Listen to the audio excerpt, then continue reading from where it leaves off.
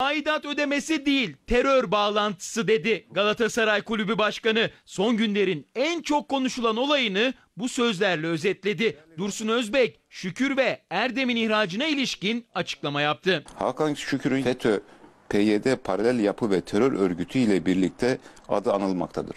Galatasaray'ın Mali Genel Kurulu'nda Hakan Şükür ve Arif Erdem hakkında alınan karar tartışıldı. Hatta devletin zirvesinde bile gündem oldu.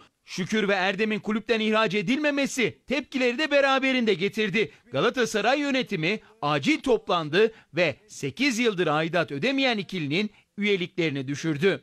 oy çokluğuyla kabul edilmiştir. Cumhurbaşkanı aidat gerekçesini hafif bulduğunun altını çizdi. O tartışmalar devam ederken Sarı Kırmızılı Kulübün başkanından aidat değil terör örgütü bağlantısı vurgusu geldi. Kendisinin Cumhuriyet'in temel değerlerine olan bağlılığı tartışmalı hale gelmiştir. Galatasaray Başkanı iki ismin FETÖ bağlantısını bugüne kadar inkar etmediğini söyledi. Sosyal medya mesajlarını, açıklamalarını işaret etti.